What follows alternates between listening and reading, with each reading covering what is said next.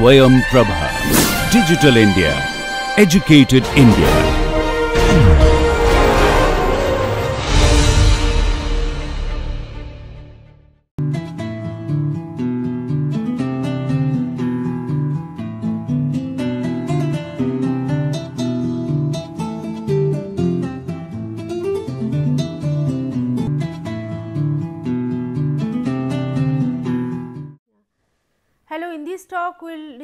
About uh, two important forms of corrosion that is uh, very much dependent on the stress and str or maybe stress is associated with these two types of corrosion. One is stress corrosion cracking, another one is hydrogen embrittlement.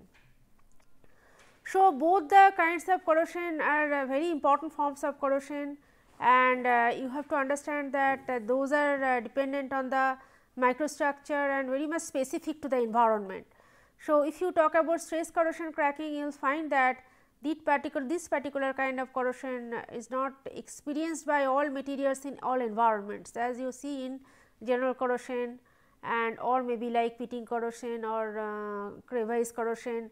So, this is very much dependent on the environment specific, uh, this is very much dependent on the environment. Similarly, hydrogen embrittlement also is very much dependent on the environment. So, you find that uh, this can be a kind of uh, major cause of failure of uh, different component uh, and in very much important uh, engineering sectors.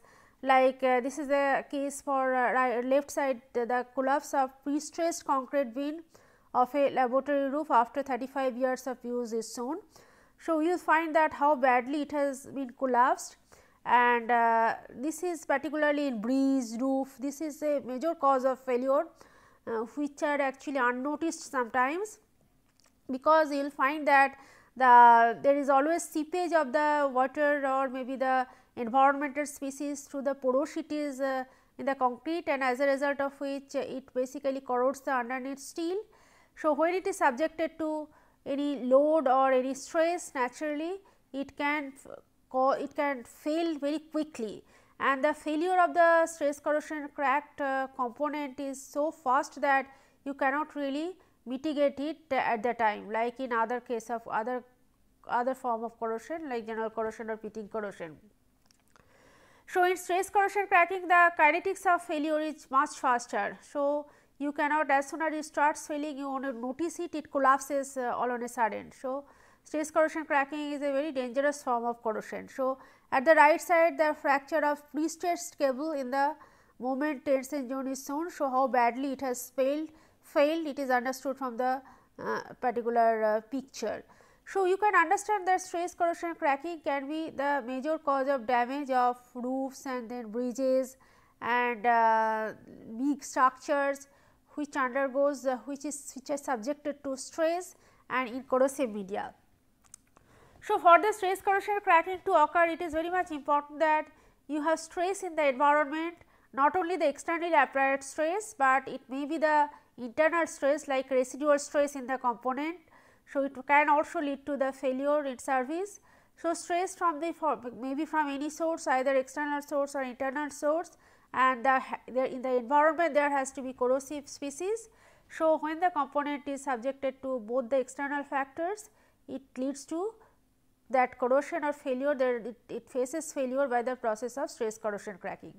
So, if you quickly go through the that microstructure of stress corrosion crack product you will find that in the microstructure there are it, that particular stress corrosion cracking basically usually proceeds by intergranular fashion sometimes it may also proceed uh, through transgranular fashion, but mode of failure is usually brittle in nature.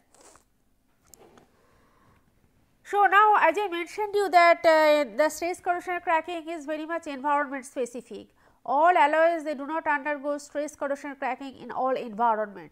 So, these are the environment materials combinations where stress, stress corrosion cracking behavior have observed till date.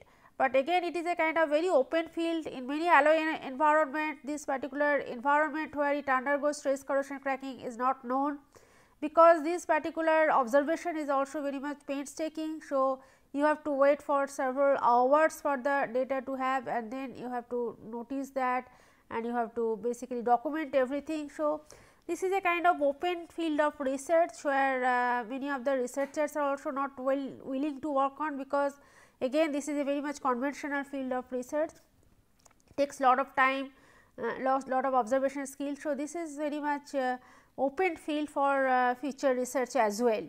And in many alloy environment it is not understood when the stress corrosion cracking will start and what is the stress corrosion cracking behavior of the component in a in a particular environment. So, these are typical uh, that alloy environment combinations where, there it is established that stress corrosion cracking will occur. Like carbon steel usually undergoes stress corrosion cracking in hot nitrate, hydroxide and uh, typically carbonate solution High strength steel undergoes stress corrosion cracking in aqueous electrolyte particularly which contains uh, sulfur dioxide which contains the uh, hydrogen sulphate and in the case of uh, uh, austenitic stainless steel it undergoes stress corrosion cracking in sodium chloride chloride containing environment. High nickel alloys undergo stress corrosion cracking in high purity steam. Alpha brass undergoes stress corrosion cracking in ammoniacal solution. Aluminum alloys, uh, titanium alloys, magnesium alloys, Zirconium alloys undergo stress corrosion cracking in chloride containing, bromide containing or iodide containing solution. Similarly, alpha brass uh, again you will find that uh, that for usually what has been observed that it is very important to know that why this particular stress corrosion cracking behavior is environment specific because it has been observed that the main reason behind the stress corrosion cracking is the selective leaching of the the typical passive film which forms on the surface. So, whenever there is leaching of the passive film which are formed on the surface usually it acts as a kind of uh, zone where there is again microgalvanic attack and then where stress is very high stress concentration occurs. So, it undergoes dissolution at a much faster rate. So, the environment is that environment where there is breaching of the typical passive film. So, if you say the case for different alloys as discussed uh, above like alpha brass which undergoes stress corrosive cracking in ammoniacal solution. So, if you see the uh, initiation layer, layer it is a de-alloyed layer of copper. So, there is de-alloying and as a result of which you will find that uh, naturally in that zone there is stress concentration and subsequent dissolution at a much faster rate So, stress corrosion cracking uh, behavior is observed in that case. Gold copper system ferric chloride again the alloyed layer in the iron chromium nickel. So, in iron chromium nickel based alloy in chloride hydroxide hydroxide or high temperature water containing environment again there is de-alloying phenomena.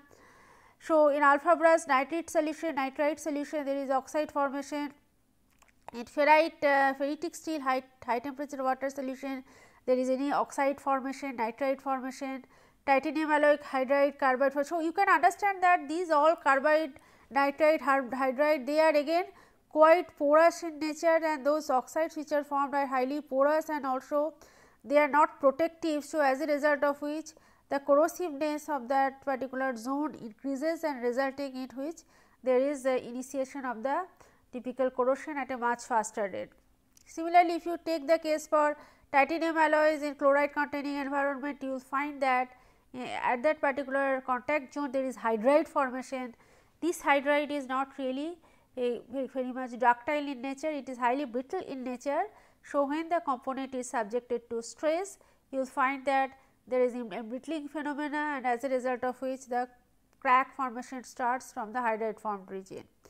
So, that environment metal combinations are very important because First of all, so you can understand that the reason behind the stress corrosion cracking is uh, are maybe well lit a few more few uh, there are different regions which are responsible for stress, stress corrosion cracking. First region is the selective leaching or maybe selective leaching of the damage of the typical passive film which protects the surface. Second region is that there may be some hydride or other alloy for other compound formation which are not really protective neither protective not quite ductile which are highly brittle in nature. Third region may be some other phase formation which are porous as compared to that of in contrast to that of passive film which were needed to form for protection against the corrosion in that environment. So, these are different regions for the stress corrosion cracking. Now, and as a result of which unless and until these particular conditions are satisfied the component do not undergo, undergo stress corrosion cracking and as a result of which you will find that the alloys are very much uh, prone to stress corrosion cracking under specific environmental condition. So, if you quickly go through the stress corrosion kinetics, uh, kinetics of the stress corrosion cracking or you can if you see the uh, stress which are essential for stress corrosion cracking to occur, you will find that there is a threshold stress which is essential for the initiation of the stress corrosion cracking and then you will find that it propagates at a much much faster rate. If you see the time for initiation and time for the propagation of the stress corrosion cracked sample you will find that when the threshold stress is uh, when the stress is much lower than that of threshold stress there is no stress corrosion cracking at all. So, this stress is nothing but actually the stress required for the breakage of that particular uh, cracked for particular exposed component which are uh, where there is formation of the passive film. So, you have to be very much careful in choosing the stress in that corrosive environment. So, if you choose the stress properly, you will find that the component does not undergo any kind of stress corrosion cracking. So, frankly speaking, if you, you can avoid the stress corrosion problem, if you just uh, use the component at a stress much lower than that of threshold stress required for the stress corrosion cracking to occur. So, stress corrosion cracking diagram is very important or mapping is very important for a specific alloy system for a specific environment for choosing the alloy for that particular in that particular environment. But you have to understand that this threshold stress is uh, can be much lower than that of UTS or sometimes yield strength of the material. So, usually the component fails uh, under stress uh, in corrosive environment when it undergoes stress corrosion cracking at a stress much lower than that of yield strength of the material. So, you cannot really predict the stress corrosion cracking behavior or you cannot design the component based on the its behavior in the simple environment where there is no corrosive fluid. On the other hand, as you increase the stress above threshold stress, you will find that there is the time of crack initiation and track time of crack failure actually it increase it basically there is a, a particular stress there is a crack initiation and a particular stress much higher than that of crack initiation there is crack propagation. So, this particular uh, difference between or the uh, range between crack initiation the time required uh, time range between crack initiation and crack propagation actually decreases as you go on increasing the uh, Uh, applied stress on the surface. So, this is very important when the stress is quite low time required for initiation and time required for failure is quite high as you go on increasing the stress the time gap or time for crack initiation and time for crack growth actually crack propagation decreases and as you go on increasing the stress further then again it decreases to a large extent and finally it fails. So, this is very important and whenever you do stress corrosion cracking study you have to note down these two time one is crack initiation time and crack propagation time and if you just draw the crack initiation time as a function of applied load and crack propagation time as a function of applied load that is nothing but your stress corrosion cracking mapping or behavior of the alloy in the stress corrosion cracking environment. Now, if you quickly go through the uh, this particular uh, magnitude of the crack tip stress distribution as a function of the uh, like critical uh, fracture stress intensity factor you will find that it basically consists of three important that like stress initiation threshold stress intensity for stress corrosion cracking this is the initiation and then it propagates and finally leads to failure. So, total time for that uh, typical stress corrosion cracking may be divided into three type three different time regime. One is the stress corrosion cracking time required for initiation. Then plateau region where the stress corrosion cracking rate is almost uh, same. And then finally trans that uh, another region where the, the rate of stress corrosion cracking is much faster. So, in this region usually there is uh, that film, film dissolution rate is much lower as soon as film dissolution at this threshold stress there is dissolution star which starts and as you go on increasing the stress and you and or corrosiveness in the environment you will find that the stress corrosion cracking dissolution rate is much lower. Hmm. At the steady region there is dissolution and formation rate and after that you will find that dissolution rate actually uh, exceeds that of uh, rate of uh, film formation. So, as a result of which there is rapid failure of the component. So, it is very important to know that film dissolution rate or film rupture rate and also formation rate at a specific under specific stress condition. So, usually you can show you can say that uh, say space, the stress corrosion cracking proceeds under two uh, stages. One is initiation of the stress corrosion cracking, another one is propagation of the stress corrosion cracking. So, initial stage initiation is very important because you can control the initiation of the stress corrosion cracking by different precautionary measure, but as soon as it initiates it is very difficult to control the propagation because propagation occurs at a much faster rate leading to the failure of the component. So, if you talk about the initiation usually for initiation as I mentioned you there are different reasons for the initiation of the uh, stress corrosion cracking. One of the important reason is the uh, presence of imperfections or porosities uh, on the surface. So, whenever you keep the component in that environment where there is pit formation or the, where there in that particular you use the component with the surface condition where there are a lot of imperfections on the surface, those sites actually act as a site for the pit initiation or maybe crack initiation. So, you find that uh, you if you if you just go on having the surface you will find that uh, initially the, the when, when there are very small uh, defects on the surface there is no initiation. So, uh, after a certain period of time then there is no again initiation starts and after a certain period of time further you will find that there is slow growth of the cracks through the imperfection sites because there is stress concentration and also dissolution of the film further show by the typical uh, galvanic action and then after after it reaches a certain length you will find that there is propagation and which is very difficult to control. So, it is dependent on the fracture toughness of the component and also the scale which is forming. So, you have to if you are interested to get rid of stress corrosion cracking problem, you have to control the initiation stage very nicely. You have to see the surface properly, so that surface is free from any kind of flaws, there are no defects on the surface and also there is no loose debris from the surface, so that there is pitting attack or microgalvanic attack or any other attack. So, you have to control the initiation stage very nicely by checking the surface properly.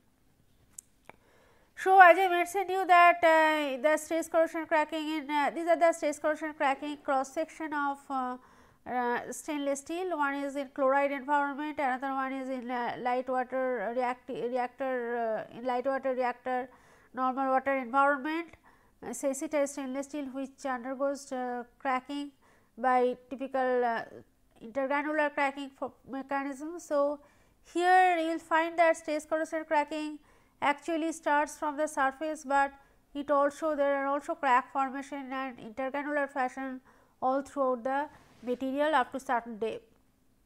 This is the transcellular fashion where chloride environment is responsible, where transcellular fashion it can also proceed because of presence of lot of porosities or breaching of the film in different regions not necessarily along the grain boundary regions. So, the usually though it proceeds through intergranular fashion, but it can also proceed through this transgranular fashion. So, but overall uh, mechanism is basically overall mode of failure is by brittle by is brittle failure. So, if you quickly have the map of the material environment and that of stress, you will find that uh, the stress corrosion cracking usually is observed in that particular overlap region where there is material undergoes corrosion in corrosion environment. It can also undergo fatigue or maybe corrosion fatigue in that uh, under stress when the stress is fluctuating in nature and in between there is the stress corrosion cracking of the component. So, you have to know this region properly so that you can get rid of this particular problem by choosing proper environment and stress. Now, if you quickly go through the mechanism as I mentioned you that there are uh, different mechanisms which are uh, actually, uh, but most important mechanism is that uh, there are different mechanisms which have been proposed uh, to explain the stress corrosion cracking behavior of different materials, but dissolution and then stress assisted uh, stress assisted dissolution and rupture of the film is the main reason for that particular stress corrosion cracking to uh, proceed. But if you quickly go through the different micro mechanism, you will find that or different factors responsible for the stress corrosion cracking. They may be metallurgical factor, they may be dissolution factor, they may be mechanical factor, they may be hydrogen factor. Hydrogen may also assist the stress corrosion cracking. So, if you quickly go through the metallurgical factors responsible for the stress corrosion cracking, their dislocation co coplanarity, then stress aging, microsegregation, adsorption, these all phenomena are observed in stress corrosion cracked system. So, usually you will find that when dislocations are arranged in a kind of coplanar fashion, then naturally the crack propagation is basically is very easy as compared to that of dislocation entanglement. And stress aging phenomena when is there again micro segregation phenomena when are there. Then naturally along those sides you will find that there is differential formation differential phase formation and differential uh, chemical attack uh, electrochemical attack as a result of which you find that those regions are corroded at a much faster rate as compared to that of surrounding region. So, the corroded region acts as a zone for the crack initiation. Similarly, when there is adsorbed layer because of the adsorption it reduces the bond strength again by this decrease in bond strength you will find that region gets weak and crack formation gets easier. So, metallurgical factors are very important which are responsible for stress corrosion cracking. Then hydrogen also can assist stress corrosion cracking particularly in those cases which are very much hydride former like titanium. So, hydride formation if is there then naturally there is embrittlement of the surface. So, along the embrittled surface you will find that there will be crack initiation and propagation at a much faster rate. Dissolution also is a main phenomena you will find that when there is a weakening of the bond there is faster rate of dissolution, dissolution rate is much faster. Uh, there is film formation cracking wall then again th that is there actually you will find that when, when there is dissolution phenomena and also film formation uh, in a discontinuous fashion you will find that galvanic attack becomes more prominent over there. Then noble element enrichment, then film rupture, chloride ion migration, these are again different other factors which lead to dissolution at a much faster rate and particularly there is preferential dissolution. When there is preferential dissolution then only there will be stress concentration and as a result of which there will be preferential crack formation and crack growth in that region. And mechanical factors which are responsible are like tunnel pitting and tearing, corrosion product wedging. Those particular factors are responsible because they lead to differential again mechanical uh, forces acting on different regions as a result of which there is cracking along the certain directions of the material as compared to that of other uh, rest part of the material. So, you can say that here uh, in stress corrosion cracking stress is preferentially acting on a certain point and which is so high that there is cracking of the component at a much faster rate by thinning down of the overall surface area. So, this is the typical case where the staging is stages is uh, stress corrosion cracking are shown. So, this is the uh, particular metal where there is uh, applied stress and which is in also exposed to the corrosive environment. You will find that initially mass transport is there along the crack or away from the crack tip and then that mass which are uh, transported from the solution towards the metal surface, they react uh, in the solution near the crack hmm, and then there is adsorption of those species on the surface. Because of adsorption of the species, uh, they can also diffuse in hmm, and they also can react with the particular wall of the material and they can be absorbed in the bulk and there is bulk diffusion and plastic zone ahead of the advanced tip, chemical reaction in the bulk and then there is bond rupture and then crack propagation. so, this is the typical way by which the crack propagates in stress corrosion cracking.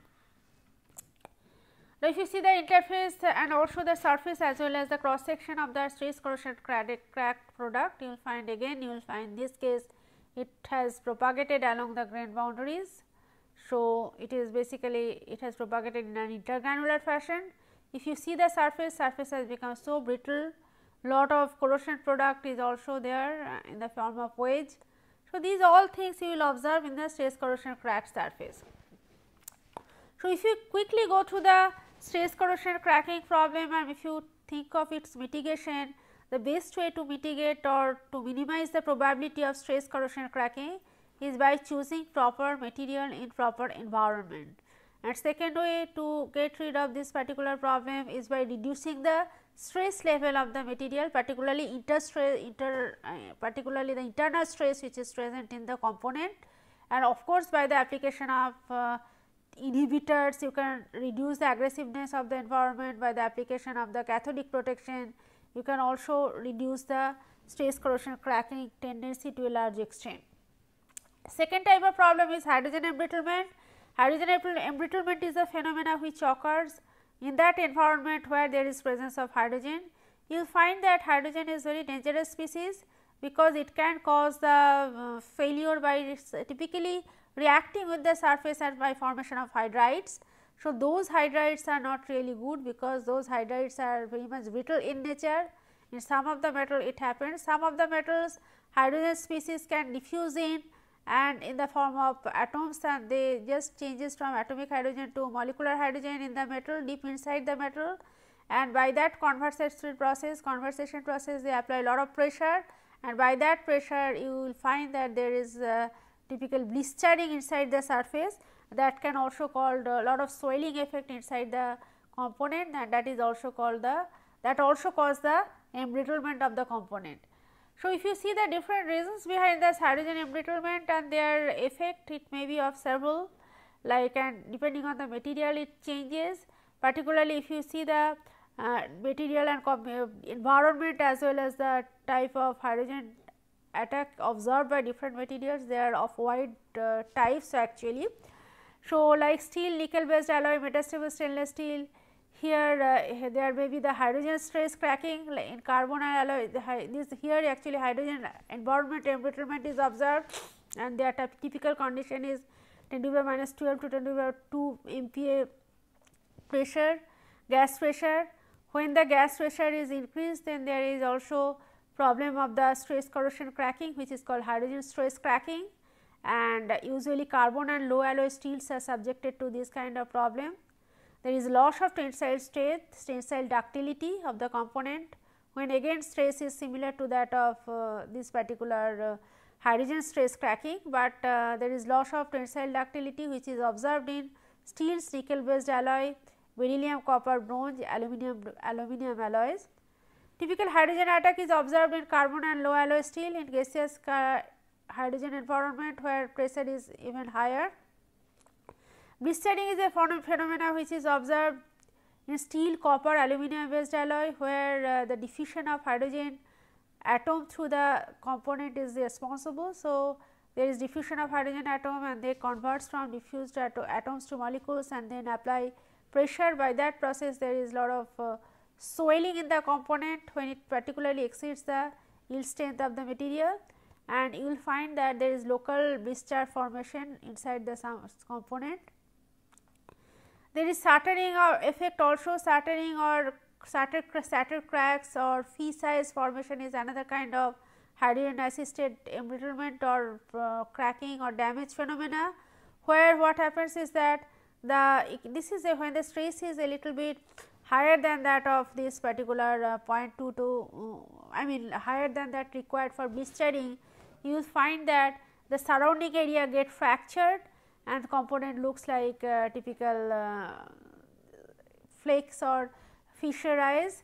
There is micro perforation phenomena again at a very high hydrogen content and similarly and finally, there is hydride formation and depletion of the flow property. So, several things can be ha can happen when hydrogen is there in the environment. So, whenever hydrogen is there in the environment, you have to be careful in using the component. So, you will find ductility loss of several uh, austenitic stainless steel in high pressure hydrogen. So, ductility actually reduces from 50 percent to as low as 0.1 percent. So, you have to be careful when there is hydrogen in the environment because it can cause loss of ductility to a large extent. So, if you are interested to get rid of this hydrogen assisted embrittlement, hydrogen can also assist the stress corrosion cracking phenomena. So, if you are interested to get rid of this particular problem, you have to use proper materials and you have to get rid of hydrogen in the environment. There are several inhibitors available which takes uh, which take away the hydrogen from the environment. So, inhibitors also play a very important role in changing the environment. So, you have to use the proper inhibitor and also you have to toughen the component or change the composition so that it does not undergo any cracking in, in presence of hydrogen and also you have to be very much careful in using the proper processing technique so that there is no chance of hydrogen generation in that particular processing particularly when you undergo any welding operation you will find that from the welding electrode there is chance of lot of hydrogen pickup. So, if you choose proper welding electrode proper coated electrode so that there is no hydrogen in the environment you can get rid of this problem to a large extent. So, thank you very much.